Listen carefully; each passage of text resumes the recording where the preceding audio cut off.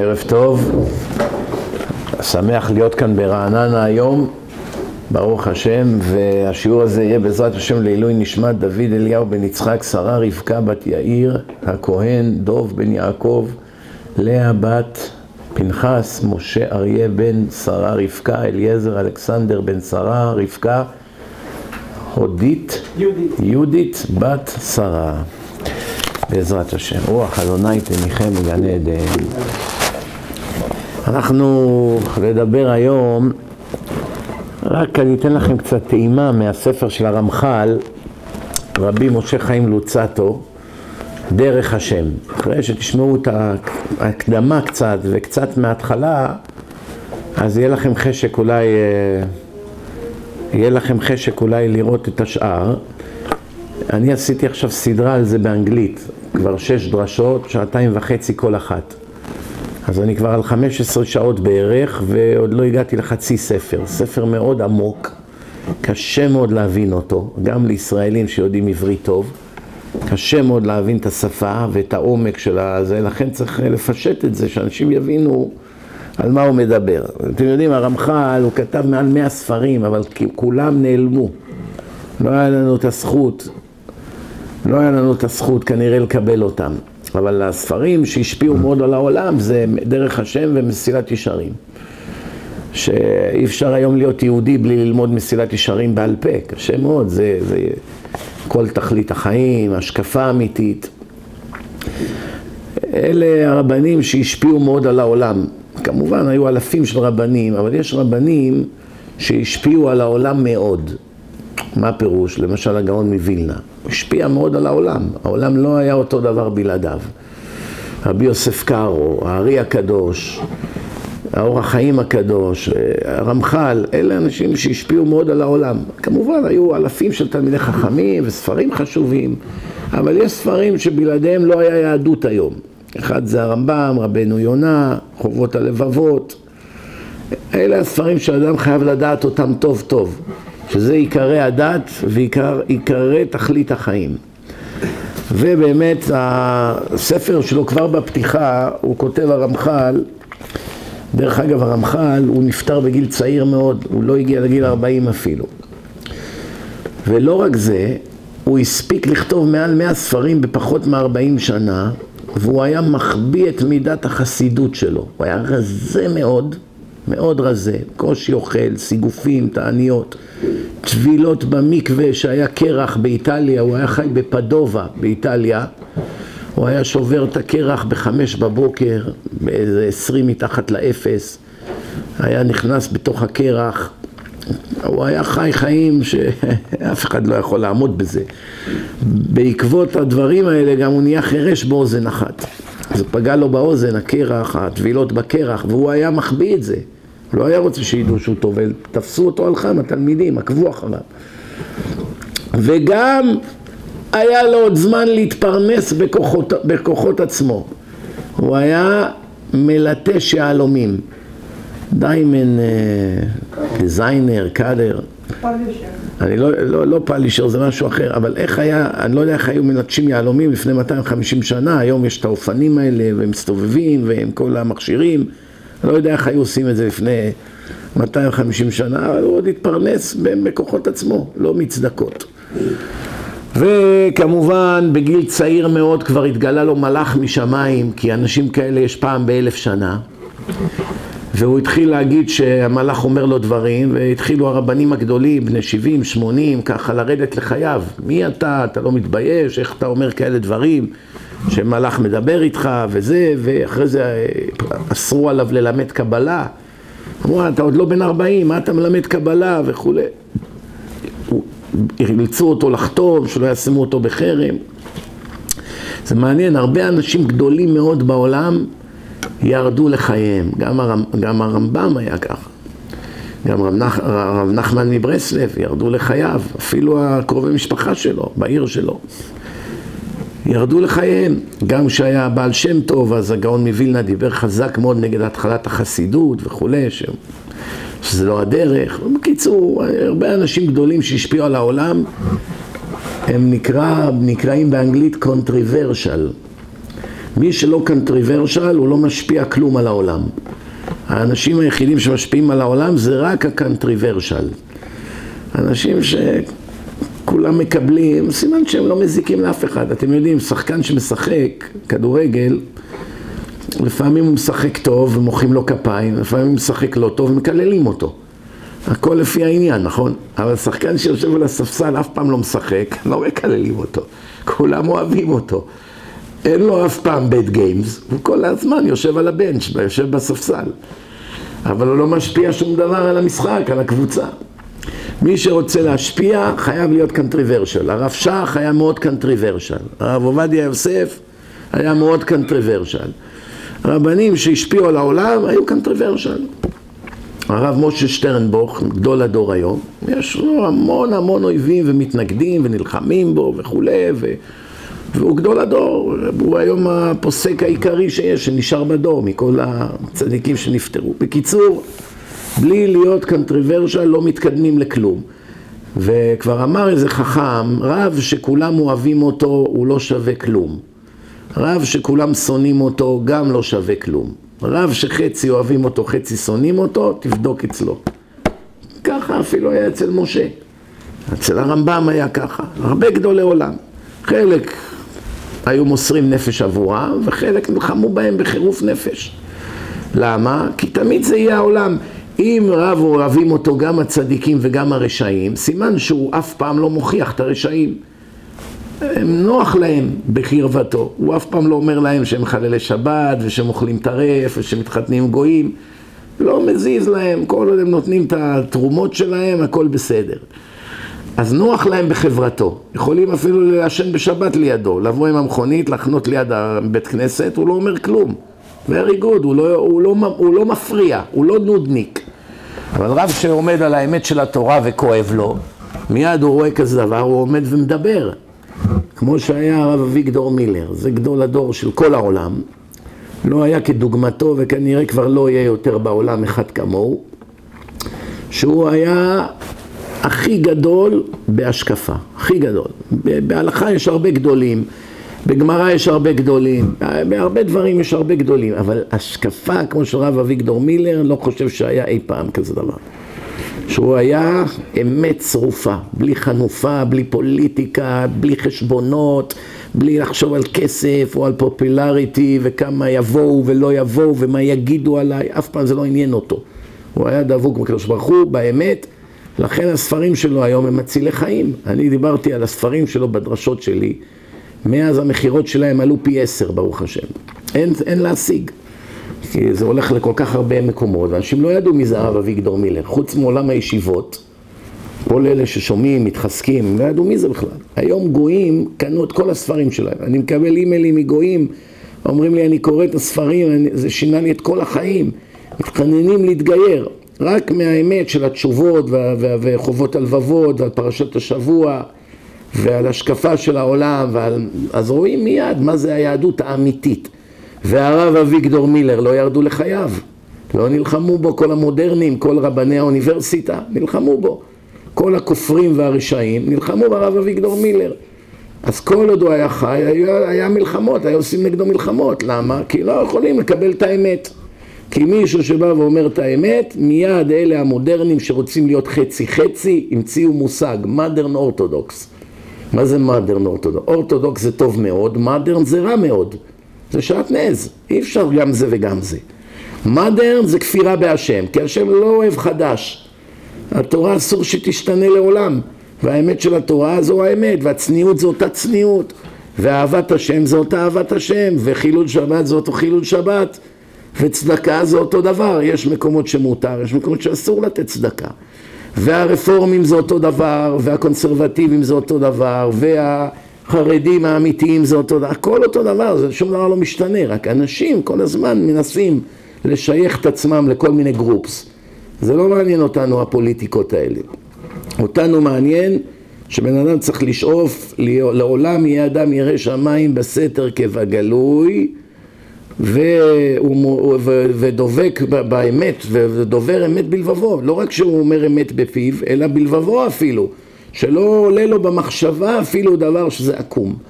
כן, ירא שמיים בסתר כבגלוי. גם כשאתה בחוץ אתה ירא שמיים ליד אנשים, וגם כשאתה בחדרי חדרים, רק אתה והשם, אתה עדיין אותו ירא שמיים, אתה לא עושה הצגות.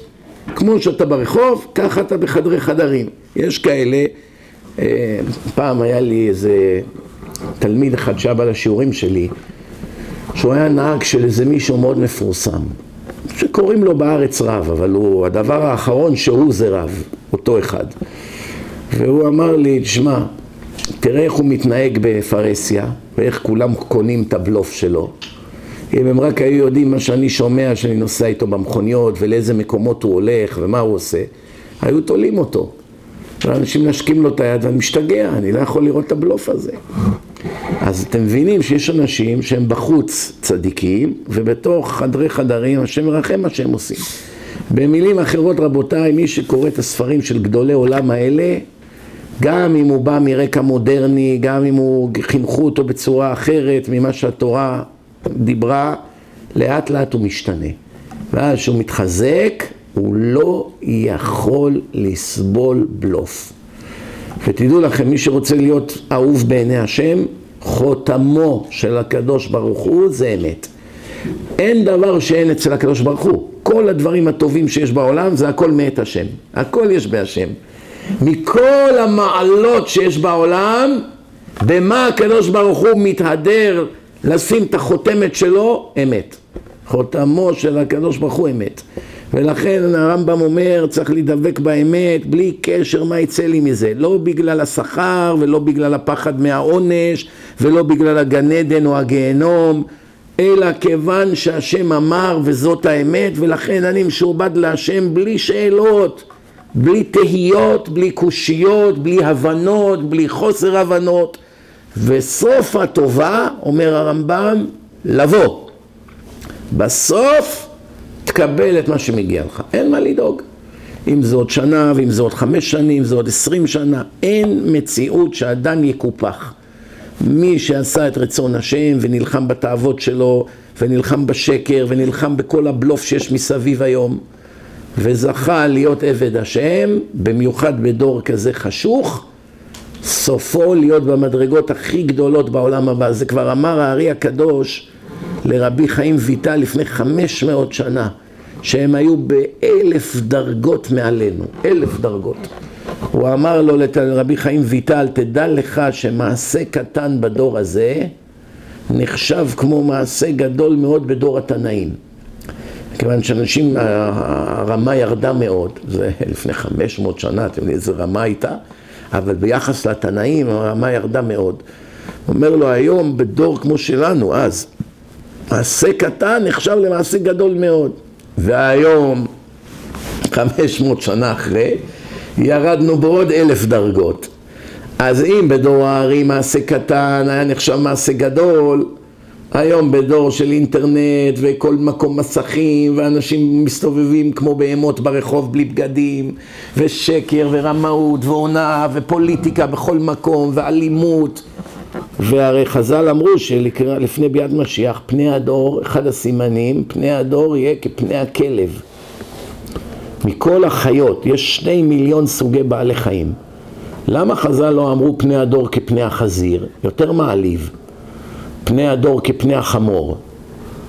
נכון, יש הרבה חיות, פני הדור יכלו למצוא חיות אחרות, למה דווקא בחרו בכלב? מילא כלב הוא נאמן לבעליו, הוא מועיל, הוא עוזר, שומר על הבית, שומר על הכבשים, אז יש בו תועלת, יכול, הוא יכול להקריב את חייו, להציל את חיי, חיי בעל הבית שלו.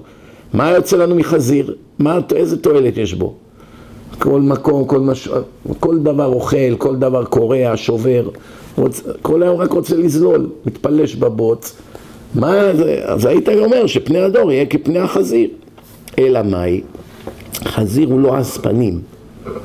חזיר, נכון, הוא אוכל ואוכל ואוכל ואוכל ולא מועיל בכלום, אבל הוא לא עז פנים, גם חמור הוא לא עז פנים.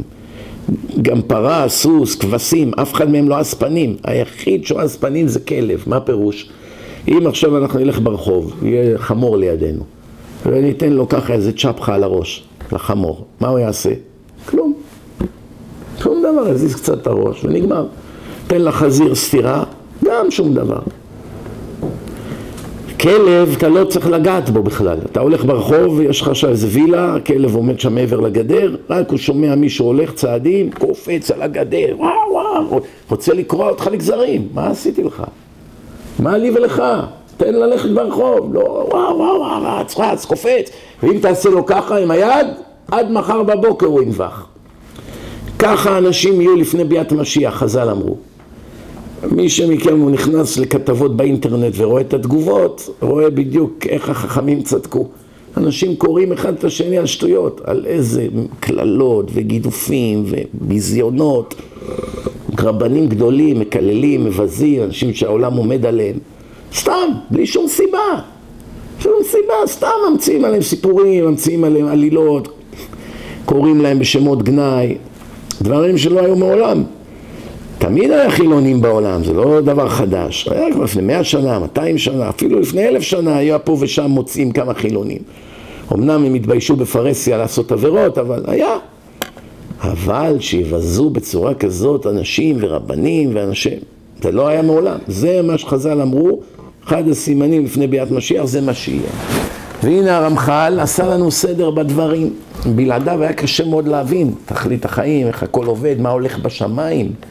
עיקר הספר הזה זה מתאר איך מנהלים את העולם בשמיים, המלאכים, האופנים, השרפים, הקדוש ברוך הוא, מי זה השטן, מה תפקידו, הכל אתה לומד מפה. מה היינו יודעים על העולם העליון? מישהו מבין שמה שהוא עושה פה נשלח לעולם העליון, משפיע ויורד חזרה? זה כמו אימיילים, אתה שולח אימייל למישהו, מעצבן אותו, reply. אם אמרת לו משהו טוב, שולח לך משהו טוב. אמרת לו משהו רע, שולח לך משהו רע, נכון? כל מה שהבן אדם עושה פה, עולה לשמיים, analyze, מעבדים את זה, ויורד חזרה, הוא מסביר את הכל, איך זה עובד, ואיך הניסיונות עובדים, ודברים מדהימים. בקיצור, זה ספר שמאוד חשוב. אני אתן לכם קצת טעימה היום. כמובן אי אפשר יהיה הרבה להספיק, אבל לפחות שנקבל. הנה קראתי שם הספר דרך השם, כי הנה הוא כלל. מדרכיו יתברך, שגילה לנו על ידי נביאיו, והודיענו בתורתו, ובהם מנהלנו ומנהל כל בריאותיו. זאת אומרת, יש נביאים בעולם, בורא עולם שולח אותם, הם נותנים מסרים, יש את התורה, וככה מנהלים את העולם. וחילקתי אותו לדלת חלקים. ספר מחולק לארבע קטגוריות. האחד מדבר בו על כלל יסודות המציאות ופרטותיו. כל מה שהשם ברא, כל היסודות, כל הפאונדיישנס, הכל, הוא מסביר דבר דבר. השני, איך השגחה של השם מנהל את העולם. איך הוא משגיח. השלישי, מה זה נבואה. מה הנבואה עושה בעולם. והרביעי, מה זה עבודת השם. שומעים? מתחיל בפרק ראשון, חלק ראשון, בבורא יתברך שמו, מדבר על מציאותו. כל איש מישראל, האמת גם גויים צריכים לדעת את זה, אבל הספר הזה נכתב בעיקר ליהודים כמובן. כל איש מישראל צריך שיאמין וידע שיש שם מצוי ראשון, קדמון ונצחי, שהוא, והוא שהמציא, הוא ממציא כל מה שנמצא במציאות, והוא האלוה ברוך הוא. זאת אומרת, כלל ראשון להבין את החיים אי אפשר להגיד אני אתאיסט ולהבין משהו מהעולם, זה אי אפשר להבין כלום. דרך אגב, כל מי שאומר לכם אני אתאיסט, זה הכל שקר. אין אחד בעולם שהוא אתאיסט. זה סתם בלבולי מוח. כי כל אדם שבא ואומר אני אתאיסט, במילים אחרות הוא אומר אין לעולם בורא. אז תשאל אותו, תגיד, הספר הזה איך נהיה לבד, או שמישהו הדפיס אותו ותקתק וסידר ועשה רווחים? האם אתם מכירים אדם שמאמין שספר נהיה לבד? נשפך דיו ב printing house ופתאום נהיה ספר? יש כזה בן אדם שטוען כזו טענה? אני לא, אני לא נתקלתי באחד כזה. ואם יבוא אחד שיגיד הספר נהיה לבד, נשפך דיו במעבדה ונהיה ספר. מה היינו אומרים על אחד כזה? אתם מוכנים להתחתן איתו? או איתה? אתם מוכן שהוא יבוא אליך כאורח לשבת, אחד שותה כזה? אתה מוכן? ודאי שלא. אבל אנחנו רואים שבאוניברסיטאות הכי יוקרתיות בעולם, כל פרופסור הוא כזה. כולם טוענים שהבינג בנג והכל נהיה מקרי והיה מיליוני פיצוצים ופתאום נהיה תא, איך נהיה תא? תא הוא יותר מתוחכם מעיר שלמה. תא, cell, little cell, microscopic. יש בו תכנון כמו לתכנן עיר. מה, האם עיר יכולה להיות מפיצוץ, בניינים, שבילים, דשא, פרחים, עצים, פחי זבל במקום, הכל עומד כמו שצריך? מה, אפשר להגיד שמישהו עשה את העיר הזאת, שלא עשו את העיר הזאת, שזה נהיה לבד? ודאי, אין אחד שלא... יש מישהו שמאמין שהמיקרופון נהיה לבד? יש מישהו שמאמין שיתוש נהיה לבד? אתם יודעים מה זה יתוש? הרי מה זה יתוש? הוא יותר מתוחכם ממסוק אפאצ'י, שעולה איזה 20 מיליון דולר. מסוק, הליקופטר, יש לו מגבלות, הוא לא יכול אה, לעשות מה שיתוש עושה. מסוק גם עם טיל כתף, ככה זה שהערבים עכשיו יורים פה על הארץ, יכולים לכוון עליו ולפגוע בו, להפיל אותו. כבר הפילו מסוקים עם טילים של 500 דולר. פוגע במסוק והוא נופל. אז מסוק הוא מוגבל, מאוד מסוכן להיות במסוק, זה יכול להיפגע מאוד, לפעמים יורים מקילומטרים, פוגעים במסוק, אם זה אינפרארד, זה הולך על החום של המנוע, פוגע בו, נגמר הסיפור. ואם הוא פוגע באיזה חוט חשמל, גם כן נופל.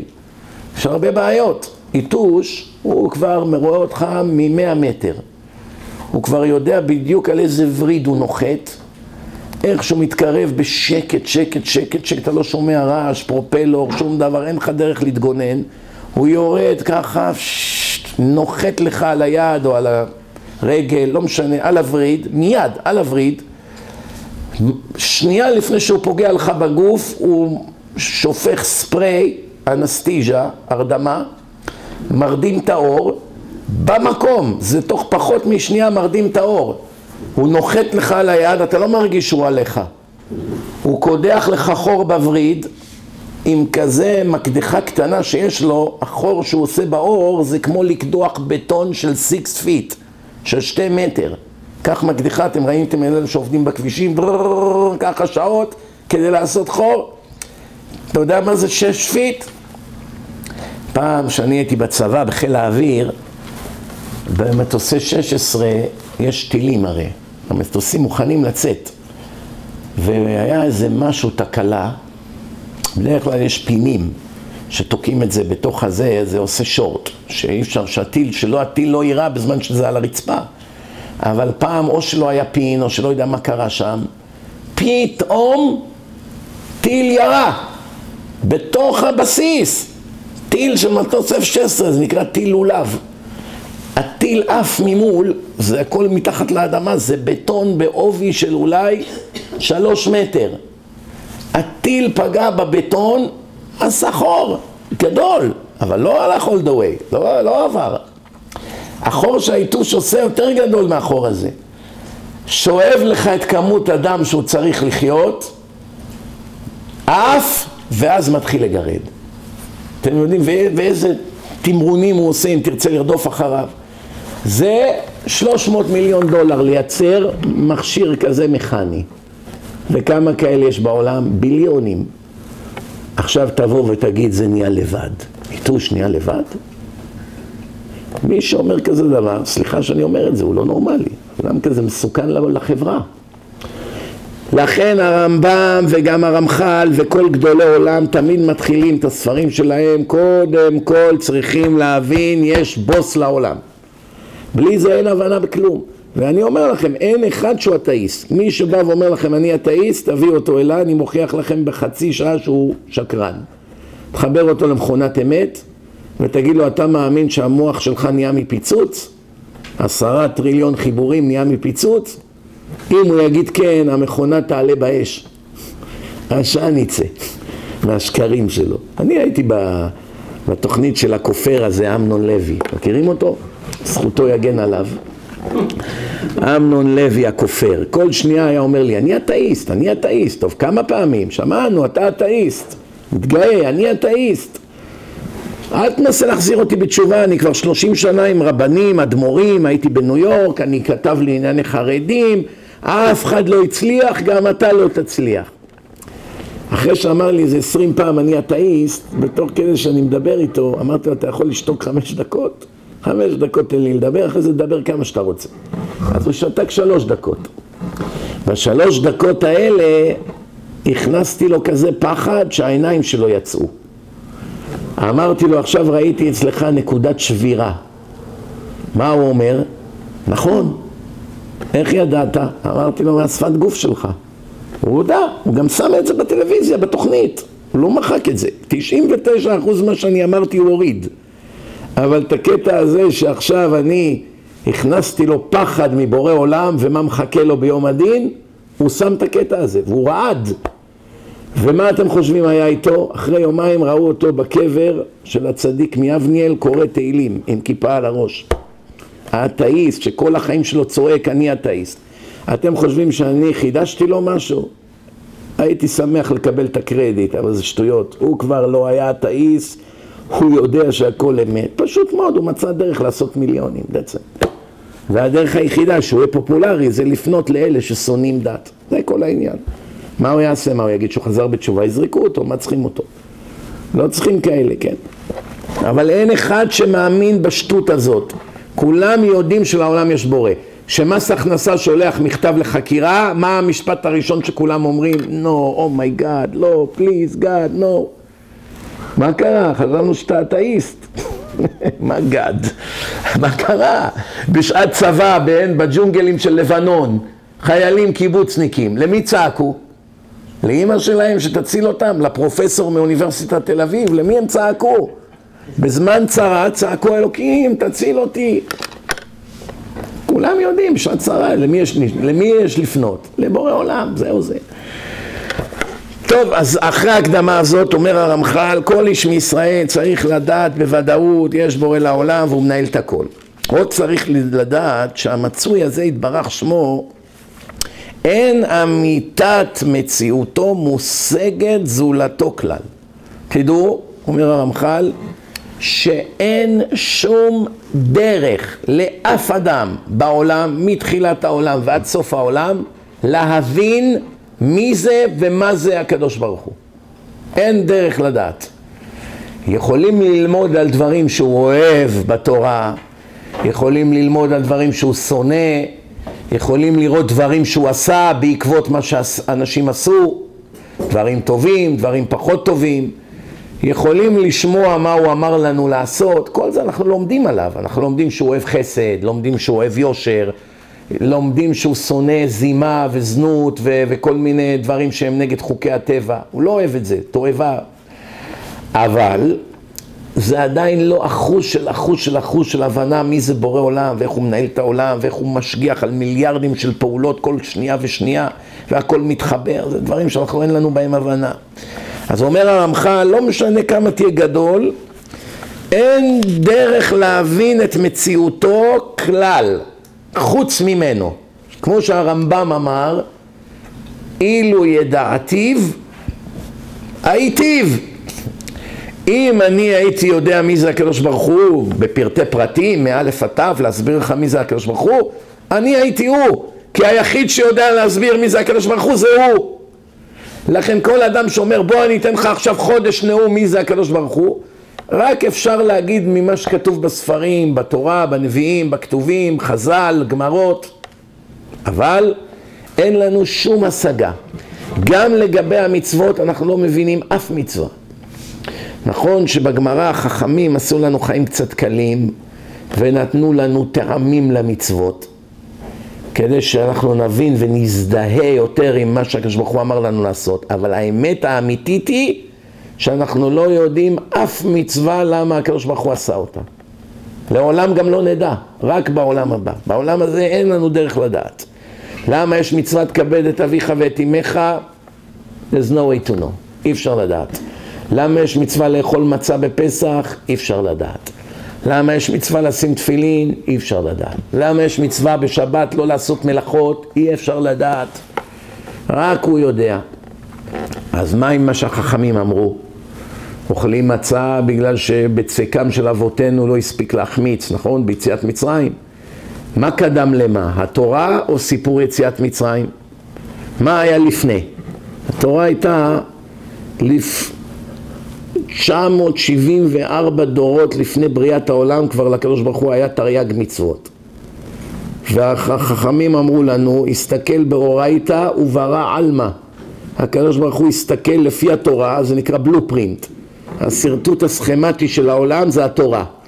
הקדוש ברוך הוא הסתכל בתרי"ג מצוות, ולפי תרי"ג מצוות ברא את האדם. כיוון שיש מצווה לשים תפילין על הזרוע השמאלית, עשה לך זרוע. כיוון שיש מצווה לשים את זה בין עיניכם, עשה לך ראש עם שני עיניים שמצטלבות. בגלל שכתוב ככה בתורה שצריך לשים תפילין בין עיניכם, עשה לך שני עיניים. כל מה שאתה רואה בעולם זה קודם כל בגלל שזה היה כתוב בתורה. עכשיו, בתורה כבר היה כתוב לאכול מצה. עוד לפני שבכלל הגענו למצרים, עוד לא היה אבותינו בכלל. עוד לא החמיץ בצקם, זה כבר היה לקדוש ברוך הוא לפני בריאת העולם. אז מה עכשיו אתה בא אומר לי שהיו בחיפזון יצאו? אלא הקדוש ברוך הוא הלביש סיפור על התסריט. היה כבר תסריט, ועכשיו אתה רואה את הסרט. אבל התסריט כבר היה לפני שהיה הסרט. ושם היה כתוב שחייבים לאכול מצה בפסח, זהו זה. ועכשיו שכבר היה כתוב, השם גלגל שיצאנו בלילה הזה ממצרים ולא היה זמן להכין. אם לא היה כתוב לאכול מצה, אז היינו מוציאים לחם ממצרים, לא היה שום בעיה. למה יש לך הורים? כי כתוב בתורה כבד את אביך ואת אמך. בגלל זה עשו לך הורים. לא בגלל שיש לך הורים אתה צריך לכבד אותם. בגלל שכתוב בתורה כבד את אביך ואת אמך, אז עכשיו עשו לך הורים. כי את מי תכבד? כתוב שיש לך אבא ואימא. מה הבעיה בשביל הקדוש ברוך הוא לעשות שאתה תיוולד על איזה עץ, כמו תפוז, יום אחד התפוז נופל על הרצפה, נשבר, יוצא איזה איש קטן, ומתחיל ללכת, ולאט לאט גודל, ראיתם פיל? רק נולד, מתחיל ללכת, זהו, מסתדר. בעיטה שניים אמא שלו נותנת לו בראש, הוא הבין עניין. הוא קם והולך, גם צבי, רק נולד, אחרי דקה הולך ורץ. בעיה בשביל הקדוש ברוך הוא שבן אדם ייוולד על עץ, היו עצים, ואנשים היו נולדים על עצים. אלא יש מצווה בתורה, קבל את אביך ואת אמך, לכן עשו לך אבא ואמא.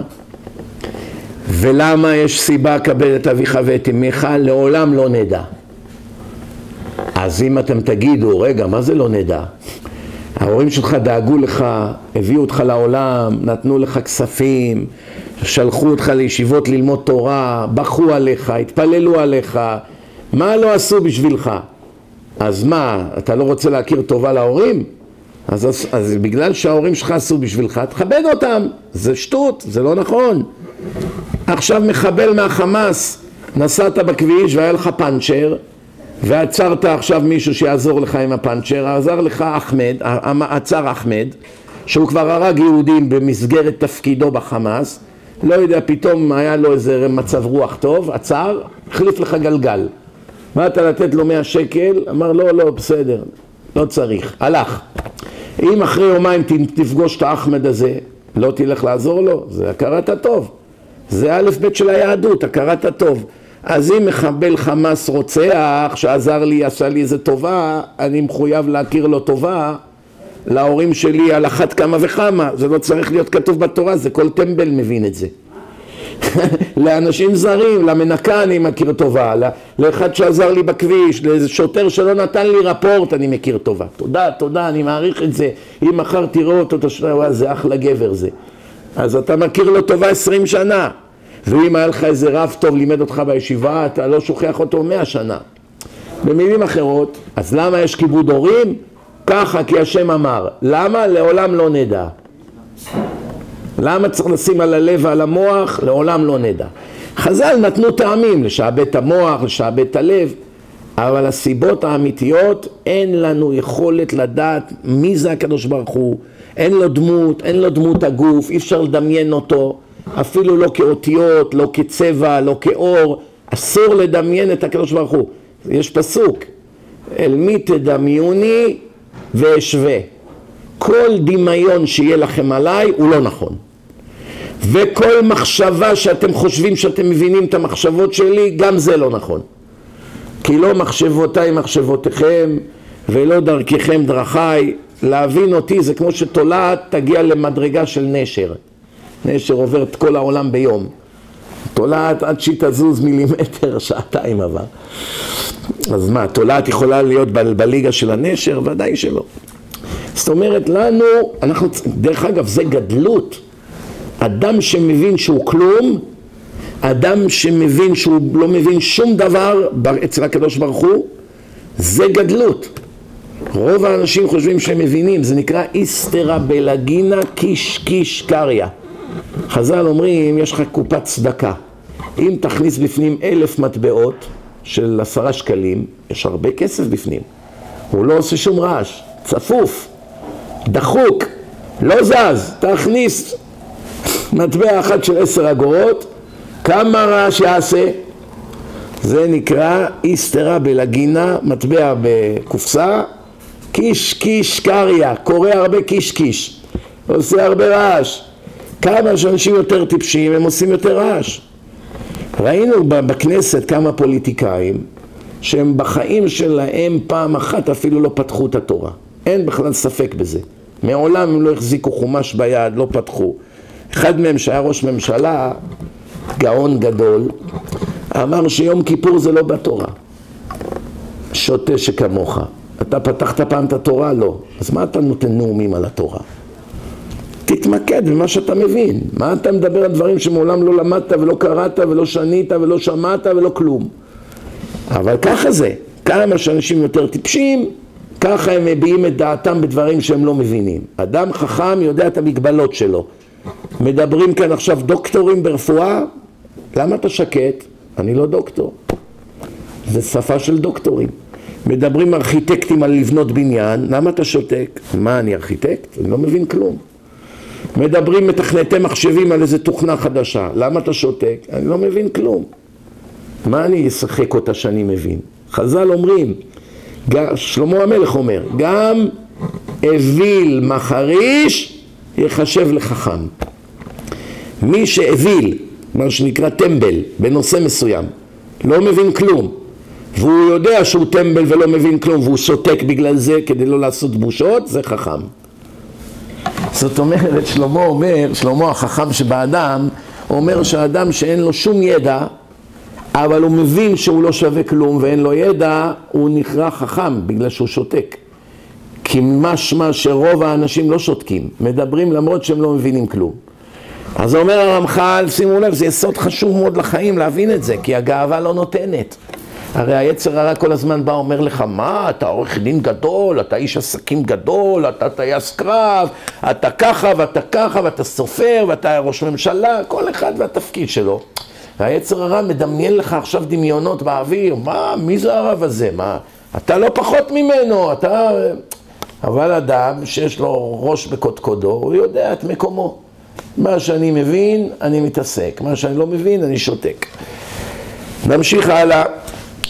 ממשיך הרמח"ל ואומר אין אמיתת מציאותו מושגת זולתו כלל, רק הוא יודע מי הוא. ורק זה נודע בו שהוא מצוי, דבר אחד אנחנו יודעים על הקדוש ברוך הוא. רק דבר אחד, רק זה נודע בו. מהו?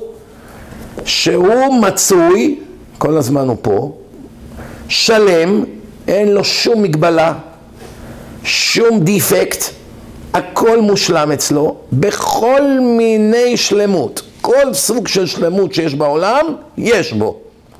אין לו מגבלה של זיכרון, ואין לו מגבלה של כוח, ואין בו מגבלה של יכולת, ואין לו מגבלה של שכל, ואין לו מגבלה של ראייה ושמיעה, וכל מה שאתה רק רוצה. הוא בשליטה מלאה, כל דבר ודבר, הוא לעולם לא צריך שינה, אין לו שום עייפות, אין אצלו שום דבר, אין, אין אצלו באמת כעס. ואין אצלו באמת עצב, ואין אצלו באמת שמחה. למה התורה מדברת וחרף השם, יש הרבה פסוקים שאם נעשה דברים שהם לא בסדר, הקדוש ברוך הוא יכעס עלינו. אבל מי שכועס זה סימן שהוא מוגבל, הוא לא בשליטה. כי הרי התורה בעצמה אומרת שאסור לכעוס. כל הכועס שולטים בו כל מיני גיהנום, חז"ל אומרים. כל הכועס כאילו עובד עבודה זרה. אז איך כתוב שהקדוש ברוך הוא כועס? חס וחלילה, מה, הוא, יש לו מגבלה? הוא לא שולט בעצמו? ודאי שלא. אז שואלים, אז למה הקדוש ברוך הוא משתמש בצער, עצבות, שמחה? מה זה כל המילה? אז הרמב"ם אומר, באיזה שפה אתה רוצה שהתורה תדבר איתך? אתה בן אדם מוגבל. אתה רוצה שהתורה תדבר איתך בשפה של המלאכים בעולמות העליונים, אתה לא תדע על מה מדובר בכלל. התורה מדברת איתך ביכולת שהשם נתן לך.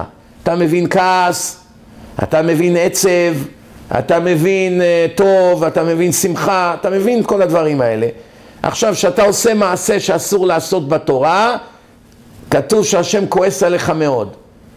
אז אתה מבין, לא כדאי להתעסק עם השם. האחרון שאני רוצה שיכעס עליי זה הקדוש ברוך הוא. מי רוצה להכעיס את השם על עצמו? זה לא ברור. אז אתה רוצה מיד, לא, אתה מבין, אם לא היה כתוב את זה, לא היית יודע. או שיש אה, דבר כזה שמשמח את השם, שזה גורם לקדוש ברוך הוא שמחה גדולה. למשל, שמלמדים תורה, שלומדים תורה, שמחזירים יהודים בתשובה, זה דברים שמשמחים אותו מאוד. אבל מה, הקדוש ברוך הוא לא היה מושלם בלי זה? היה מושלם בלי זה. שבני ישראל כולם צדיקים, הוא מושלם. אם כולם חס וחלילה היו רשעים, הוא עדיין מושלם. וזה כתוב באיוב שם, כתוב מפורש, אם אה, פעלת, מה, מה עשית לו, ועם זה, אתה לא יכול להשפיע עליו, אתה לא יכול להוסיף לו, לגרוע ממנו. איתך ובלעדיך הוא מושפע, הוא לא צריך אותך, הוא לא זקוק לך, לא שימם לו, אז למה הוא ברא את העולם? עוד מעט נבין, הרמח"ל ייכנס לזה. מתקדמים הלאה, ואומר, לא תמצא בו חיסרון כלל, ואולם דברים אלה ידענום בקבלה מן האבות ומן הנביאים. איך אנחנו יודעים את זה? כל מה שאנחנו יודעים זה עבר אלינו מדור לדור, ממעמד הר סיני ועד היום. והשיגום כל בני ישראל במעמד הר סיני ועמדו על אמיתתם בבירור. הפעם היחידה שאנשים הצליחו להבין מי זה הקדוש ברוך הוא ולהבין על ההתנהלות שלו, זה היה במעמד הר סיני. למה? כי כולם עלו למדרגת נביאים. אנחנו לא נביאים, אין לנו הבנה של נביא.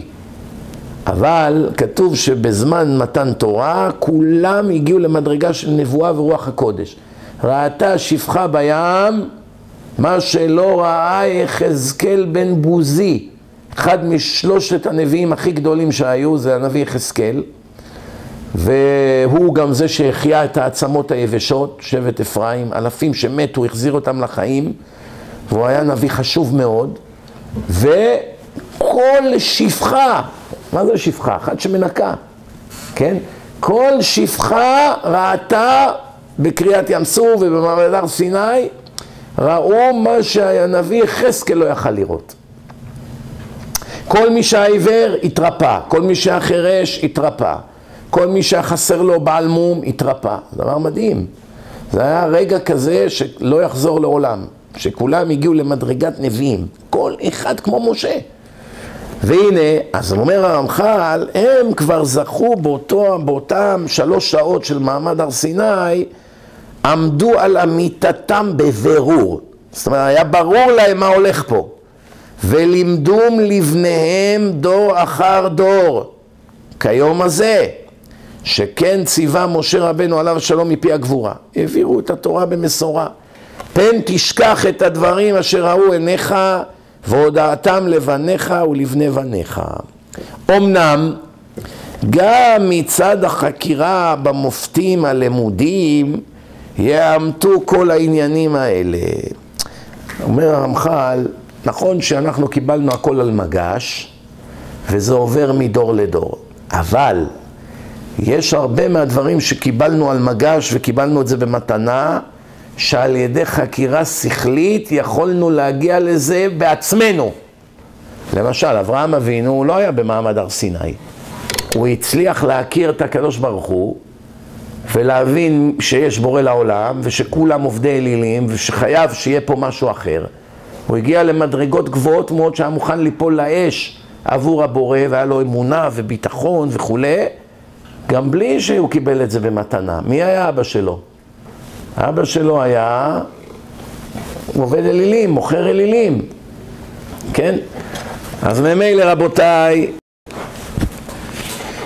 אומר הרמח"ל מכוח הנמצאות ומשיגיהם אשר אנחנו רואים בעינינו על פי חוכמת הטבע וההנדסה, התכונה ושאר החוכמות שמהם תילקחנה הקדמות אמיתיות אשר ייוולד בהם ברור העניינים האמיתיים האלה.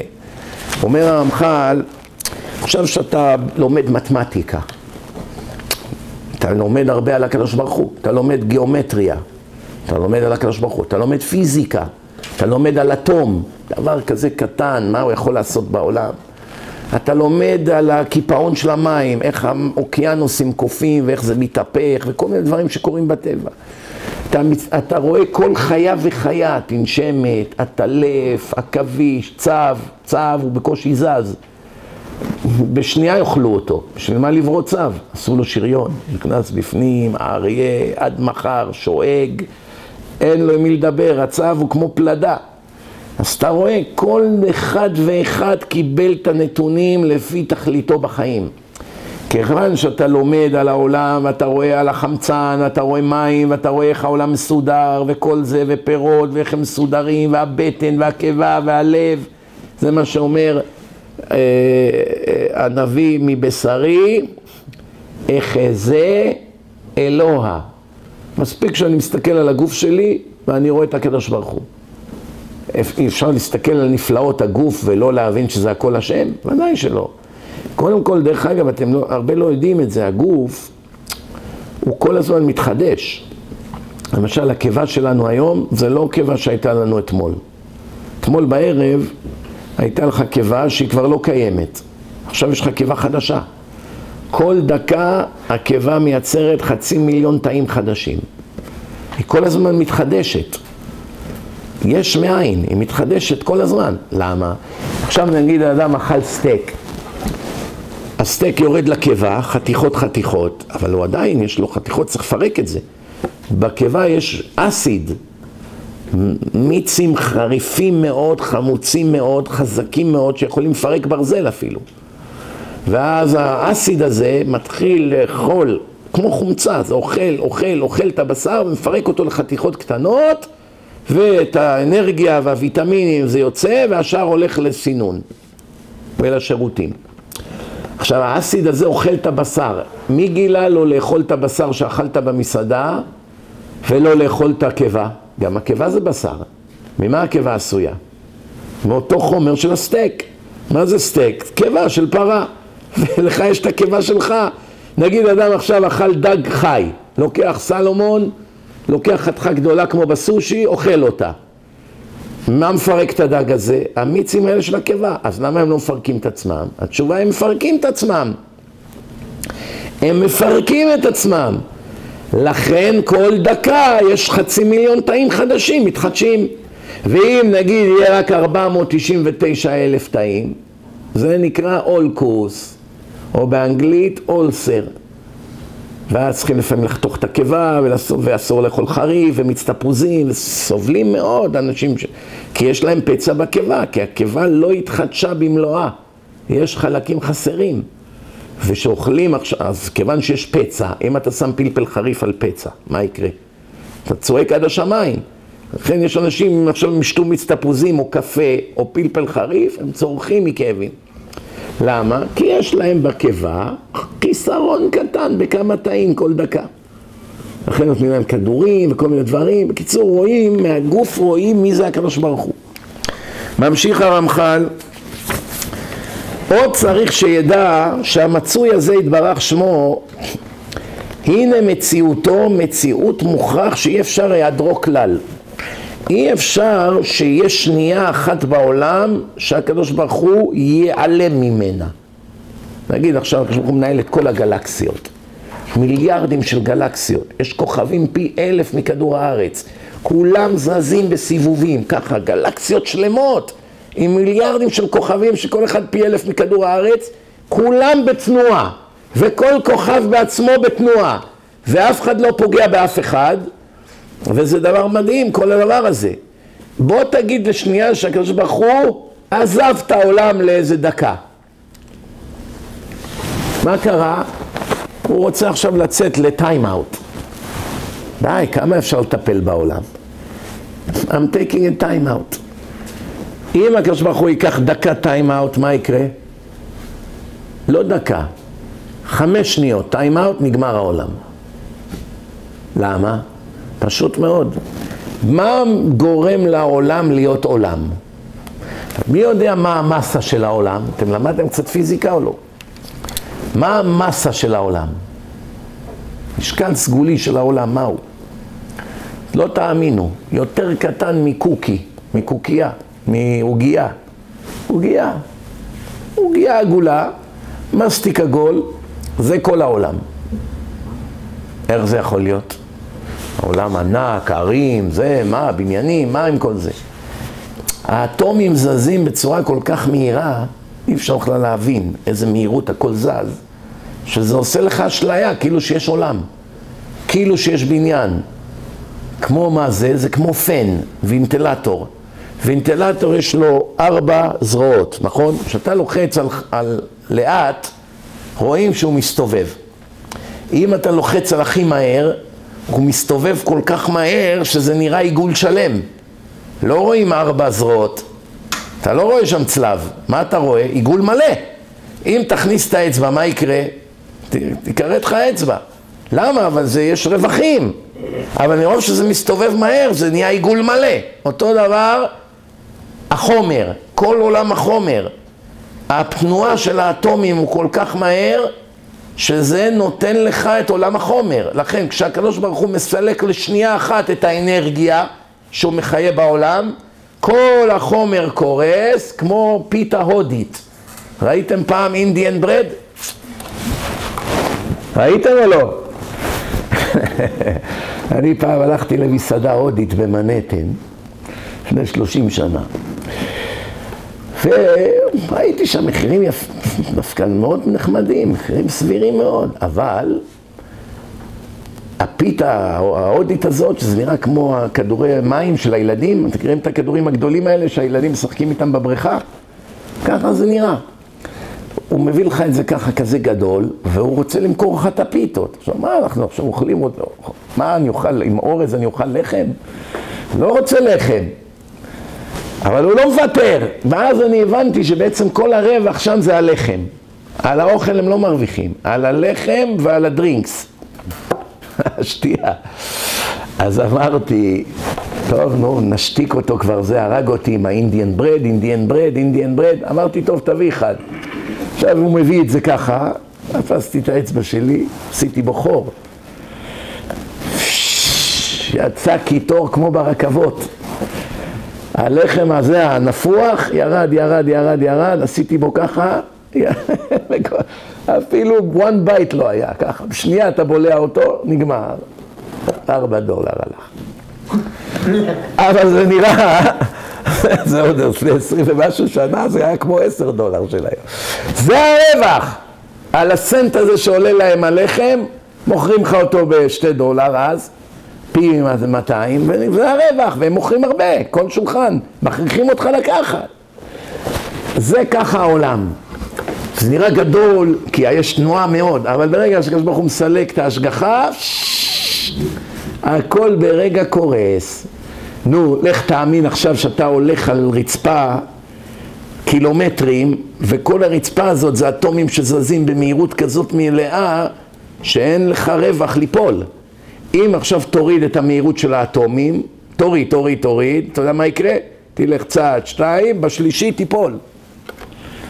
לא יהיה תנועה, כמו בוונטלטור. אתה רוצה להכניס מקל, אתה לא יכול, אם הוא מסתובב במהירות מלאה, אתה לא יכול לדחוף מקל. אבל אם תוריד את המהירות, לאט לאט ככה, לאט, אתה יכול להכניס את המקל ולתקוע אותו. זאת אומרת, רואים שכל עולם החומר זה השגחה כל כל שנייה וזה מה שהוא אומר פה. אומר לך שצריכים להבין שאין מציאות כזאת של שנייה שיש היעדרו, שהקדוש ברוך הוא, זה מה שאומרים, הנה לא ינום ולא יישן שומר ישראל. אין מציאות שהקדוש ברוך הוא יוצא לחופשה או להפסקה, אין כזה דבר. ועוד צריך שידע שמציאותו יתברך אינו תלוי בזולתו כלל. זאת אומרת, המציאות של הקדוש ברוך הוא, ה existence של הקדוש ברוך הוא, לא תלוי בשום דבר חיצוני. הוא עצמו לא צריך שיחיו אותו, לא צריך שייתנו לו אנרגיה, ולא צריך שייתנו לו חמצן, ולא צריך שידחפו אותו, שום דבר. ה existence שלו הוא מושלם ותמיד ונצחי. אלא מעצמו הוא מוכרח המציאות. זה למשל אנחנו יכולים להבין. יש דוגמה לזה שאפשר להבין, זה השמש. שמש, היא פי אלף יותר מכדור הארץ, פי אלף. תחשבו איזה כדור ענק של אש. והשמש היא מאז מיליוני קילומטרים מפה, ובמרכז של השמש יש 15 מיליון מעלות צלזיוס. עד שזה מגיע לקצה של השמש זה יורד לשתי מיליון. ואז יש את הנרתיק, את הקליפה של השמש, כמו קליפה של תפוז. זה הנרתיק, זה מה שחז"ל אומרים, הקדוש ברוך הוא יוציא חמה מנרתיקה בעתיד לבוא, לנקות את העולם מכל הרשעים, ככה כתוב במדרש רבה. הוא אומר, הנרתיק הזה, זה מה שכתוב בדוד המלך בתהילים, לשמש שם אוהל בהם, אוהל זה כיסוי, להעיל, לכסות. אז השמש יש לה כיסוי. מה זה הכיסוי הזה? הוא עוצר את כל הרדיאשן, את כל הקרינה. אז בצד הפנימי של הקליפה, שתי מיליון מעלות. בצד החיצוני של הקליפה זה יורד לששת אלפים מעלות.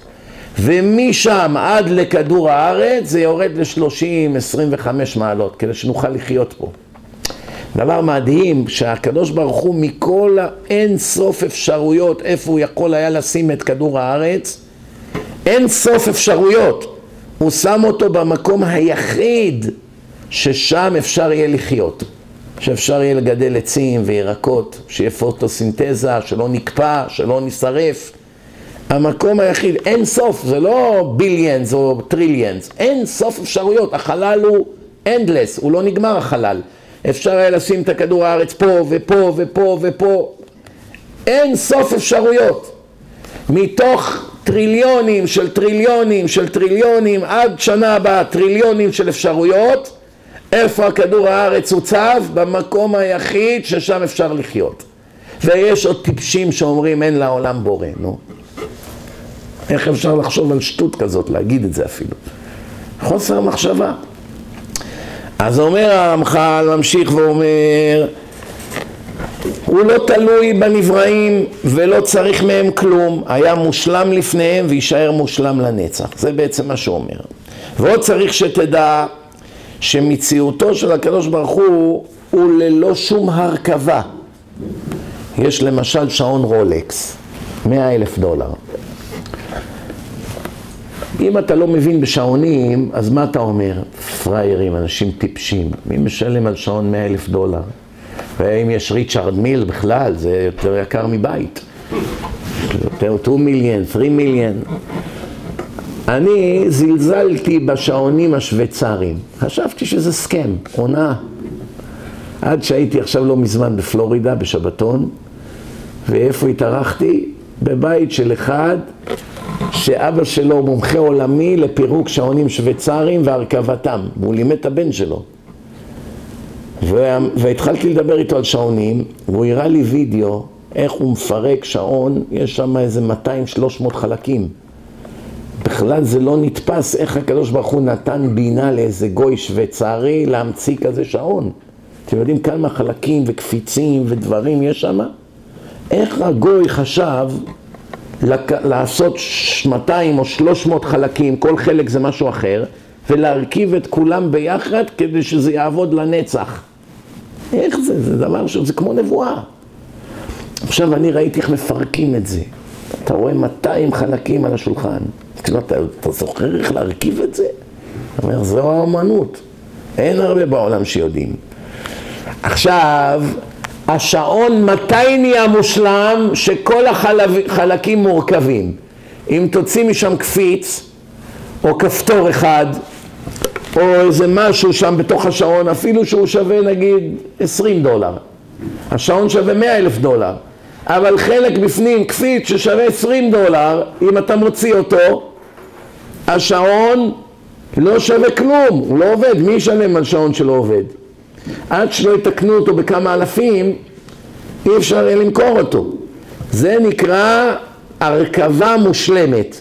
מכונית מרצדס, יש שם איזה 300-400 חלקים. תוציא חלק אחד, הוא לא מניע. תוציא סנסור אחד, הוא לא נוסע. שכל החלקים ביחד, אז האוטו מושלם. תוציא חלק שניים, הלכה השלמות. אומר הרמח"ל, אצל הקדוש ברוך הוא זה לא ככה. אין אצלו הרכבות, הוא לא מורכב מכמה דברים. הוא אחד ויחיד שלא מורכב מכלום, לא היה לו שום תוספות, שום upgrade, שום downgrade, אף פעם לא היה, והוא לא תלוי בשום דבר. זה צריכים להבין את זה. ואז אומר, ממשיך הרמח"ל ואומר, כל השלמויות נמצאים בו. כי הנה, בנפש יימצאו כוחות רבים שונים, שכל אחד מהם גדרו בפני עצמו. למשל, הזיכרון זה מערכת אחת, גוף האדם, עכשיו הוא מדבר על האדם לעומת הקדוש ברוך הוא. אצל האדם הוא מורכב כמו לגו, מוח, ריאות, לב, מערכת עצבים, קיבה, כליות, הכל מורכב, כמו שמרכיבים מכונית. אומר, בן אדם, יש לו מערכת זיכרון, אפשר לעשות משהו לזיכרון, שאר הגוף נשאר, אבל הזיכרון הפסיק לעבוד. או דוגמה, דמיון, יש כוח דמיון, שאתה יכול לדמיין תמונות וציורים וסרטים בתוך המוח. ולדמיין שזה אמר ככה, וזה לבוש ככה, וזה הלך ככה, וזה קפץ ככה. זה דברים שלא קיימים במציאות. מכלום, אתה רואה סרט בתוך המוח, אתה עוצם את העיניים ורואה סרט שמעולם לא ראית. אתה מדמיין עכשיו החבר שלך עוד מעט יגיע ויביא לך אוכל וסתם דמיונות. ילדים ונשים יש להם הרבה דמיונות. למה? כי הם פועלים הרבה מן הרגש. והרגש מפתח הרבה דמיונות. מי שרציונלי ולומד הרבה תורה ויש לו חוכמת השכל, הוא לא מדומיין. אבל העולם מלא באנשים שהם הבורים ועמי ארצות, ולכן כל בן אדם שאני כמעט מכיר, הוא חי בדמיונות. אנשים חיים בדמיונות. כשאני מדבר איתם, אני רואה שהם לא מציאותיים. והם מפסידים על זה הרבה זמן וכסף, על הדמיונות שלהם. מצד שני, מי בסוף ממציא את ההמצאות הכי גדולות בעולם? אלה עם הדמיון. שיש להם כל מיני רעיונות וצוחקים עליהם, ופתאום אחד תפס ומשנה את כל העולם. ממשיך הרמח"ל ואומר, אצל האדם יש דמיון ויש זיכרון ויש את הלב ויש כל הדבר, כל אחד זה מערכת בפני עצמה והיא לא קשורה לשנייה, נכון? בסופו של דבר הקדוש ברוך הוא מקשר את כולם, אבל זה בפני עצמו וזה בפני, יכול להיות שיהיה לך לב חזק מאוד, אבל זיכרון לא עובד. יכול להיות הפוך, זיכרון חזק מאוד, אבל הלב הפסיק לעבוד. טוב. מהי הגדלות של הקדוש ברוך הוא? פשטותו, שהוא הכל חלק אחד. אין בו שום חלקים. החלק הזה יש בו את הכל. גם זיכרון, גם ראייה, גם uh, עשייה, גם כוח, גם אנרגיה, הכל. בדבר האחד הזה, לא צריך חלקים חלקים, זה קשור לזה, זה, זה, אין אצלו כזה דבר. כלומר פשטותו היא גדלותו, שהוא מושלם ללא שום הרכבות ולעולם לא צריך שום תיקונים ושיפוצים והחלפת חלקים. והנה באמת אומר הרמח"ל הדרך הזה רחוק מאוד מהשגתנו וציורנו, קשה לנו בכלל להבין. וכמעט שאין לנו דרך לבערו ומילות לפרשו. אין לנו אפילו איך לפרש את זה אם ננסה. כי אין ציורנו ודמיוננו תופס אלא עניינים מוגבלים. אנחנו, הקדוש ברוך הוא תכנת אותנו, אופס, איפה המצלמה? תבדוק שזה לא זז, המצלמה. תבדוק שזה לא, יכול להיות שפגעתי בזה. בסדר. זה בסדר. אז אה, אומר הרמח"ל, אומר, אנחנו מתוכנתים, הקדוש ברוך הוא תכנת אותנו להבין רק דברים שהם במוגבלויות של הטבע. דברים שהם פיזיים, דברים שהם מעולם החומר, וגם לפי חוקי הטבע. זה מה שהחושים שלנו מרגישים, זה מה שהשכל שלנו יכול לצייר, ובברואים יש הרבה עניינים נפרדים, אבל אין לנו את היכולת להבין דברים רוחניים. אפילו נשמה אנחנו לא מבינים מה זה. אנחנו יודעים שזה איזה כוח, כוח אלוקי, רוחני, הוא נכנס כמו גז כזה לתוך הגוף, ובזכותו אנחנו מדברים וזוכרים ותואמים ואוכלים ושרים ושמחים ועצובים, זה הכל הנשמה. ברגע שהיא דולפת החוצה, כל מה שיש לך לא שווה כלום, אין לו תפקוד. אבל אנחנו יכולים להבין מה זה נשמה? כן, אנחנו קוראים בספרים שהנשמה נראית כמו הגוף, אבל אין לה חומר, אין מה לתפוס, היא גם לא מוגבלת, היא רואה בלי, בלי מגבלות לכל הכיוונים. בסדר, רואים, מבינים, זה חלק אלוה ממעל. אבל עדיין בדברים רוחניים אין לנו השגות. אנחנו גם ראינו בספרים מה זה המלאכים, יש להם כנפיים, איך הם נראים, חלק מהם יש להם פרצופים של חיות, חלק מהם זה אש, אש יוקדת, אי אפשר להתקרב אליהם. אבל באמת להבין מה זה מלאך אנחנו לא מבינים. אנחנו, לא, אנחנו רק מבינים ממה שהתורה אמרה לנו, אבל להבין דברים רוחניים אין לנו השגה, כן?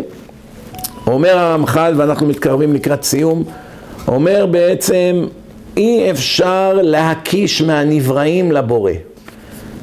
זאת אומרת, אל תנסה להבין את הקדוש ברוך הוא בדרך שאתה מתוכנת להבין את העולם הזה, כן?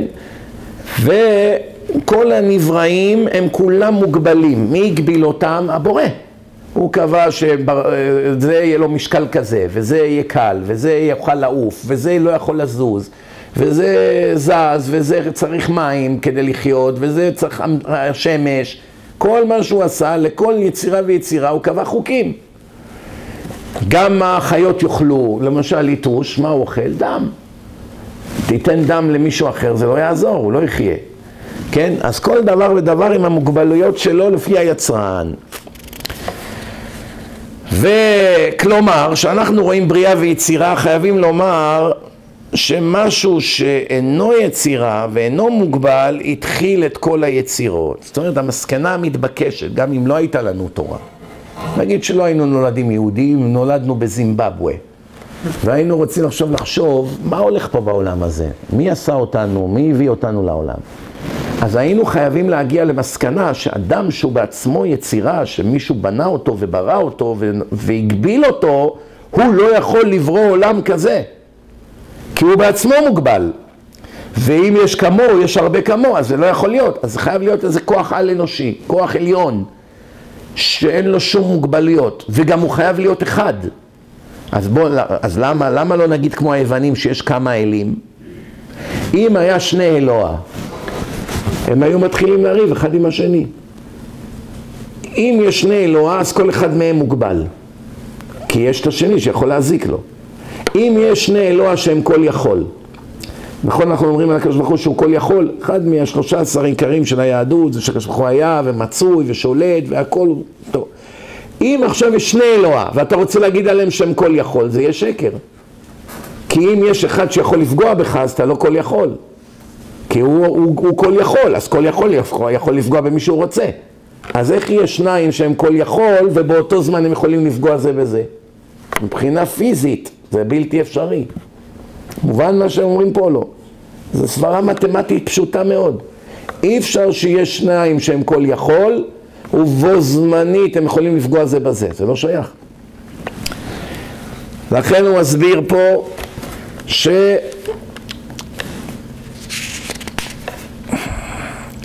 ממה שצריך שלידע עוד, שהמצוי הזה מוכרח שיהיה אחד ולא יותר, שאי אפשר שיימצא מצויים רבים שמציאותם מוכרח מעצמו, כמו שהקדוש ברוך הוא, אין כזה דבר, אלא אחד בלבד שהוא השלם והמוכרח וכולי. וכל המצויים האחרים מצויים מכוח הימצאו, שהוא רצה שכך יהיה, והוא ברא בפיו.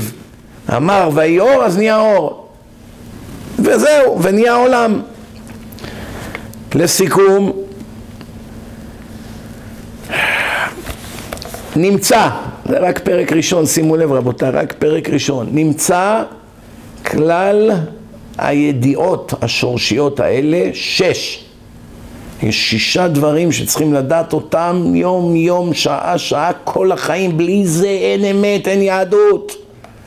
מה הם? נסכם ובזה סיימנו. אמיתת מציאותו יתברך, שהקדוש ברוך הוא מבינים שהוא פה וקיים ומשגיח. שתיים, שהוא שלם, מושלם, בלי שום מגבלה. שלוש, שבלעדיו אין קיום לעולם, שהוא מחיה כל שנייה את העולם. הוא האנרגיה של כל הגלקסיות והעולמות והאנשים וכולי. ארבע, שהוא לא תלוי בשום דבר אחר מהנבראים, לא צריך מהם כלום. אין לו עכשיו איזה חיסרון בגללם או, או, או שהם יכולים להציל אותו ממנו, אין לו שום תלות בהם. חמש, שהוא פשוט, הוא לא מורכב, פשוט הכוונה בלשון הפיזיקה מופשט שאין לו הרכבות. אוריג'ינל, זהו, בלי הרכבות. ושש, ייחודו, שאין דבר כזה, לא יכול שיהיה כזה דבר, ולא יכול שיהיה עוד בורא. זה הייחוד שלו, שהוא היחיד ואחד. זה אחד משלושה עשר עיקרים של היהדות. שאם היה עוד אחד, אז זה היה גורע ממנו, וממילא אז הוא כבר לא כל יכול, ואי אפשר לסמוך עליו. והרי ברור, לדוגמה, שאם הייתה טעות אחת בתורה חס וחלילה, דבר שהתורה דיברה עליו ובסוף התברר כטעות. מה היינו אומרים? איך ייתכן שבורא עולם טועה טעויות של בני אדם? למשל, בקוראן, בקוראן יש הרבה טעויות, אז מבינים שזה לא מבורא עולם. בברית החדשה של הנוצרים יש הרבה טעויות, אז מבינים שזה לא מבורא עולם. בתורה שלנו אין אף טעות. אם הייתה טעות, הם מבינים שזה לא מבורא עולם. למשל, אצל המוסלמים כתוב שהמן ופרעה נפגשו. איך יכול להיות? המן זה אלף שנה כמעט אחרי פרעה. והם נפגשו בגיהנום, אבל בעולם הזה הם לא יכלו היו להיפגש. שני רשעים, שונאי ישראל, המן ופרעה, שני נאצים, נפגשו לפי הקוראן כדי להילחם בקדוש ברוך הוא, של היהודים. ככה כתוב בקוראן. עוד דבר מוזר כתוב בקוראן, שהדוד של יושקה, הדוד של יושקה הוא משה רבנו. ככה כתוב בקוראן. איך קרה כזאת טעות? הם ידעו שלאימא של יושקה קוראים מרים, או מריה, או מרי, אותו דבר, אותה אישה. ואם ואחותו של משה רבנו מרים קראו לה, אז מרים ומרים. אז כותב הצ'יזבט ושמו קוראן כתב ש... כתב שמרים, אחות של משה רבנו ואהרון, הגיעה לעיר בהיריון. ושאלו אותה, מה זה? עוד לא התחתנת, את רק עשית חופה וקידושין ובעלך הלך, ועוד הוא לא עבר לגור איתך. לא היה איחוד. מה זה את בהיריון ככה? ואז התחיל להם הסיפור, אלוקים בא, עיבר אותי בחלום, אני הבתולה וכל הבלוף הזה של הנצרות. אז הנוצרים המציאו את הבלוף והמוסלמים לקחו את הבלוף והלבישו עליו עוד בלוף. מהו? שהמרים הזאת, שאימא של יושקה, היא גם אותה מרים שהיא אחות של משה ואהרון, מרים בת עמרם. וכמה שנים הפרש יש בין שני המרים? 1300 שנה. מרים אחות של משה זה לפני 3400 שנה, 2000 שנה. טעות, 2000 שנה. בין מרים, לא סליחה, נצרות זה 2000 שנה. 3,400, 2,000, 1,400 שנה הפרש בין מרים אחות של משה למרים אימא של יושקה. בספר שמתיימר להיות מבורא עולם כותבים כאלה שטויות, ממילא יודעים שזה לא מבורא עולם. סתם אנחנו חוטפים פה טילים. אם הם רק היו קוראים את השטויות שכתוב פעם ושמים לב שזה לא מבורא עולם, הכל היה נגמר. מה נעשה? נגזר עלינו לסבול. ונצרות הרבה יותר גרוע. כל דף שם יש שטויות. מילא באסלאם עוד יש דברים שמק סנס, אבל בנצרות זה ממש נורא ואיום. טעויות כאלה שלא נתפסות בשכל. אז ממילא ספרים שנכתבו ורואים בהם טעויות אנוש, למשל אצלנו בתורה כתובים דברים שאף אחד לא יכול היה לכתוב אותם לעולם, למשל את זה תאכלו מכל אשר במים, כל אשר לא סנפיר וקסקסת תאכלו. אתה רוצה לאכול דגים כשרים? סי פוד, מותר, בתנאי אחד, שיש לזה קשקשים וסנפירים. שרימפס לא כשר. לא כשר. אה, כריש לא כשר, אין לו קשקשים. דולפין לא כשר, אין לו קשקשים. דג סלומון, יש לו קשקשים, יש לו סנפירים, כשר, לא צריכים לדעת את השמות. אתה בא לצ'יינאטאון בניו יורק, שלום מיסטר ברוסלי, מה שלומך? תביא לי בבקשה לראות קצת, תשים קצת דגים שנראה. יש לך את זה ואת זה, שמות סינים, אני לא מבין מה הם בכלל. מה אכפת לי, אני לא צריך להכיר את הדג. אני רואה עכשיו דג שיש לו קשקשים וסנפירים, כשר. תביא מזה, תביא מזה, כל מה שאני רואה קשקשים. אומרת התורה שבעל פה, שהיא ניתנה ביחד עם התורה שבכתב, גם לא צריך את שני הסימנים. אם יש קשקשים, תמיד יהיה סנפירים, ככה אני בראתי את העולם. אין יצור אחד בים מתוך מיליונים של סוגים ודברים שחיים בים שאני נתתי בגוף שלהם קשקשים ולא שמתי סנפירים. לכן אם אתה רואה קשקשים, תדע שהיה סנפירים. לכן אם אתה בא למיסטר ברוסלי ואתה רואה חצי דג, רק את הראש, לא רואה את הסנפירים. סיני אחר קנה את הזנב ואת הסנפירים. אתה רק רואה חצי דג עם קשקשים. איפה הסנפירים? אין. לא צריך שיהיו. התורה הבטיחה, אם יש קשקשים, בטוח שהיה סנפירים. איזה אדם בשר ואדם יכול להתחייב על כזה דבר? ועוד שמאז שהתורה ניתנה עברו כבר שלושת אלפים שלוש מאות שנה וכל הזמן יש הכלאות. הדגים כל הזמן מתערבבים אחד עם השני ויוצרים זנים חדשים. מי יכול היה להתחייב שאף פעם לא יהיה כזה יצור?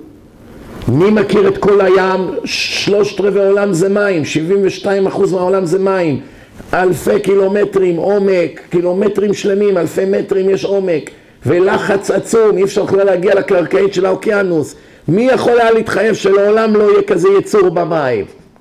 התשובה רק זה שברא את העולם והוא אמר ליהודים זה מותר לכם לאכול ואם אתה רואה קשקשים אין מה לדאוג. היה גם סנפירים. אם היו מוצאים דג אחד בעולם שיש לו קשקשים והוא נגמר עם זנב הרי יש הרבה דגים שהם נגמרים עם זנב. לא לכולם יש סנפירים. עם הזנב הם שוחים כמו נחש. אם היו מוצאים דג עם קשקשים ואין לו סנפירים כל היהדות הייתה נופלת. כי עכשיו מצאנו טעות התורה הבטיחה שלעולם לא יהיה כזה דבר. כל שיש לו קשקשת, יש לו סנפיר. אז מה? אז, אז אחד היה מביא את הדג, אומר הנה תראה, קשקשים, ואין סנפירים. היה כזה מקרה. כמעט.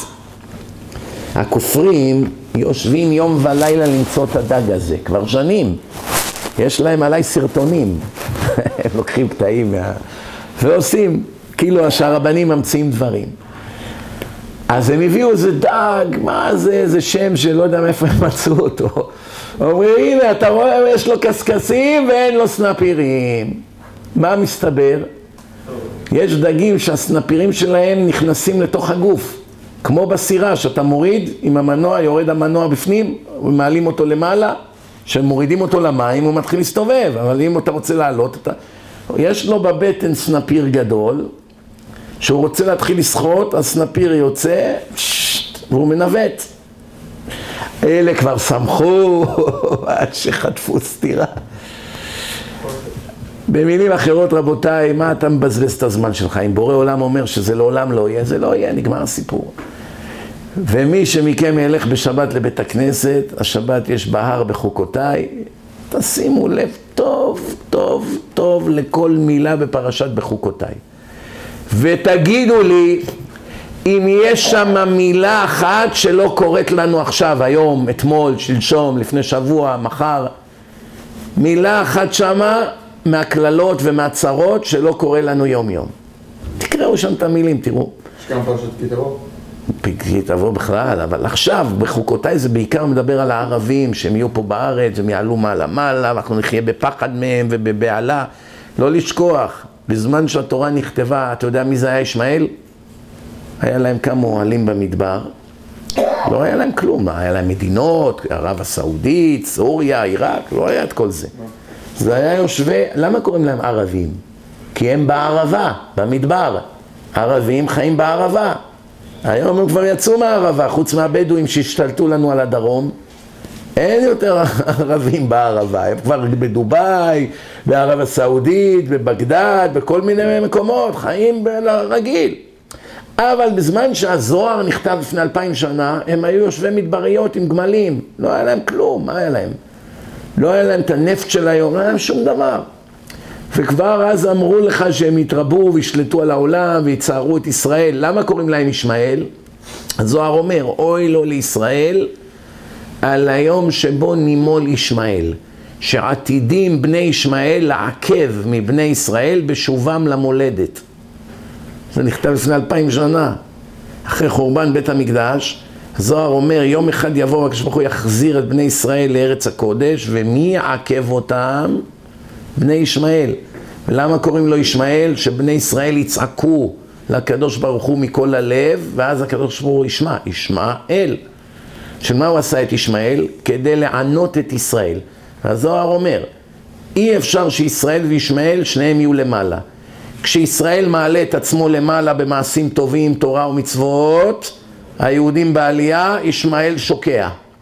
כשהיהודים עושים עבירות ופריצות ותועבה וכל השנאת חינם שיש, ישראל יורד, אז ישמעאל עולה. אפשר שאלה? כן. זה לא דווקא את העניין הזה שאמרת, זה לא ש... שיצחק נתן לעשו, זאת אומרת שאם אתה תהיה למעלה. עשו זה מישהו אחר, זה לא ישמעאל. לא עשו אותו- זה אותו ברכה? כל אירופה וכל העמים ואמריקה ו... אותו סגנון של הברכה. הוא אמר לו, על חרבך תחיה. הברכה של עשו היא שכתוב, והיה כאשר תריד ופרקת עולו מעל צווארך. זאת אומרת, הקדוש ברוך הוא אומר, כשעם ישראל הוא עושה את כל מה שצריך, אין לעשו את הכוח, ידיים ידי עשו, אין לעשו את הכוח לפגוע בנו, כי הכל קול יעקב והידיים ידי עשו, זאת אומרת שהקול של יעקב נשמע, עשו אין לו כוח. אבל שעם ישראל לא עלינו מפשל ומזייף, אז כוחו של עשו עולה. עכשיו הזכרת לי סיפור ובזה נסיים. פעם היה איזה בחור אחד, שהוא ואשתו התחילו ככה להתחזק מהדרשות של לפני בערך 22 שנה, משהו כזה זה היה. בחור ישראלי, גר בקווינס, עובד בנדל"ן, שהיה לו קוקו, שיער ארוך. יום אחד שמעתי שהוא התחיל ככה להתחזק וזה, אמרתי לו, אני רוצה להזמין אותך אליי לשבת. מה, באמת? וואו, איזה טוב. אומר לו, אבל רק משהו קצת לא נעים, אני גר בשכונה של חסידים. הילדים החסידים, הם לא מכירים את עולם הבלוף. הם גרים במקום של כולם יהודים וזה.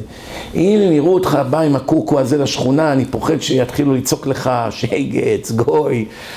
אני פוחד, הם לא יודעים, הם, הם, החיים שלהם לא ראו אה, גוי וזה, הם רק רואים חסידים. אז אולי תסתפר לפני שאתה בא. אומר לי, מה, לקח לי שנים לגדל את הקוקו הזה וזה, אבל אני מבטיח לך, אני אבוא עם הקוקו בתוך הכובע. אני אביא כובע, אני אדחף אותו בפנים, אף אחד לא יראה. אמרתי לו, מה, כל, כל השבת תלך עם הכובע? הוא אומר, כן, חוץ מזה שאני נכנס לחדר לישון, כן, אני בשולחן, אני אהיה עם הכובע. עם איזה כובע הוא בא? של הנהגי לימוזינה. העגול כזה. כמו היה פעם בקר סרוויס, בא עם הכובע הזה של הנהגי מוניות, של הלימוזינה. קיצור, הוא יושב אצלי כל השבת, מתחזקים. מוצאי שבת אני אומר לו, אתה לא באמת מאמין שאני אתן לך לצאת מהבית שלי עם ככה שערות. יאללה, בוא למקלחת, אני מוריד לך את הקוקו. לא, לא, מה פתאום, אני שנים... הוא התחיל להילחץ. אמרתי לו, אתה כבר שומר שבת, אוכל כשר, מה אתה מסתובב עם הקוקו הזה? מה, אתה גוי? בוא, תוריד לך את זה, עזוב. לא, לא.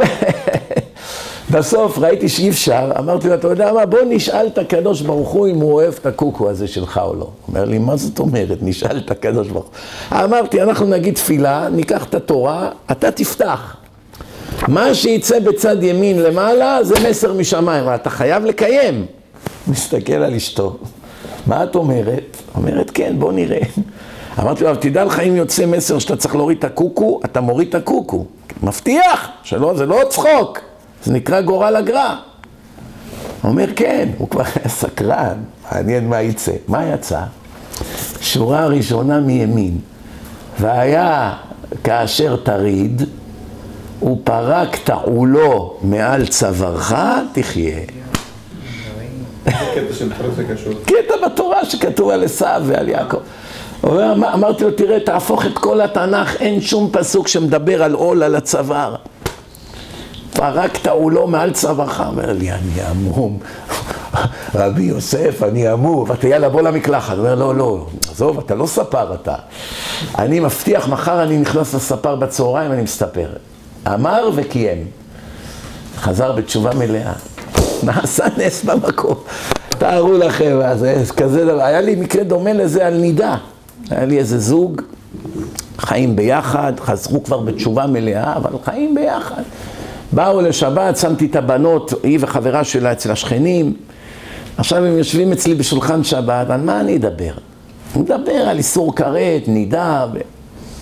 שלוש שעות, אוגוסט, לא אשכח את זה, הייתי נוטף זיעה עם המזגן, בית מלא אנשים, ואי אפשר להפריד ביניהם. אני אומר לו, תשמע, אתם במילא עוד מעט תתחתנו, תיפרדו עד החתונה. אומר לי, מה, אנחנו בקושי משלמים שכר דירה בית אחד בברוקלין. מה, עכשיו ניקח שתי שכר, שכר דירה? איפה יש לנו? לא צריך שכר דירה, אני אביא אותך לישיבה ואני שם אותה במדרשייה, אין שכר דירה. אומר לי, לא, אני, אומר, אני עובד במוניות. אני עובד במוניות, אני צריך לחסוך כסף. בקיצור, מה שאני עושה לא עוזר. בסוף אמרתי, יאללה חביבי, בוא, נע, בוא נעשה גורל, נראה מה הקדוש ברוך הוא אומר. אתה מוכן? שואל אותה, את מוכנה? כן. אבל תזכור, מה שיוצא, אתה חייב לקיים. אומר, כן, בטח, מה, זה לא צחוק. שלוש שעות, רבותיי, אחרי שלוש שעות ויכוחים. פתח שורה ראשונה מימין, ואלישע בנידת טומאתה לא תקרב לגלות ערוותה.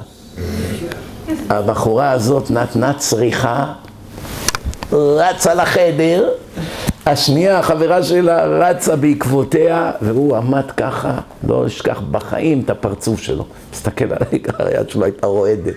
לא זה לא יכול להיות, זה לא יכול להיות. אומר לו, שלוש שעות אני מזיע סתם. אתה רואה? הכנסתי אותו לישיבה, הכנסתי את הבנות למדרשייה. אחרי כמה חודשים נסעו לארץ להתחתן, חלפו איזה שנתיים שלוש, פתאום אני, שולחים לי איזה וידאו, אחרי איזה דרשה של איזה דרשן, מראיינים אותו, פתאום הוא יוצא, כובע שחור, ציציות, שלום וזה, חזרת בתשובה, הוא סיפר את הסיפור. אמרתי, או, oh, עכשיו אני רואה מה יצא מהנס הזה. יצא אברך, התחתן איתה, הקימו בית חרדי לתפארת. היה שווה לקדוש ברוך הוא לעשות נס גלוי, כי מי יודע איך זה היה נגמר, אם חוזרים לדירה, לחיות עוד, מי יודע איך זה היה נגמר. השם עשה נס גלוי, אבל לא כל יום יש ניסים גלויים, וגם אסור לסמוך על הנס. אני עושה את זה רק כשכבר אין יותר שום עצה. ניסינו, ויכוחים, להוכיח, הכל, לא עבד כלום, אז מה יש להפסיד?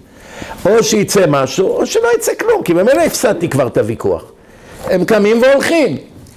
אני אומר, אם השם יש לבן אדם הזה זכות, אולי יש לו איזה סבא צדיק, לא יודע, בפולין, במרוקו, לא יודע איפה. אם יש לו זכות, השם יעשה לו נס גלוי, ואם לא, אז לא קרה כלום. הוא במילא עומד ללכת.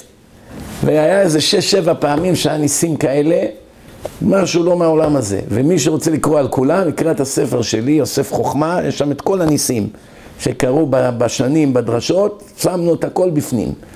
כי אנשים הרי לקחו את זה מהדרשות, סיפרתי אותם בדרשות, ומהדרשות כתבו את הספר. אז את הניסים הכניסו בספר. זה מאוד מחזק. ברוך אדוני לעולם, אמן ואמן.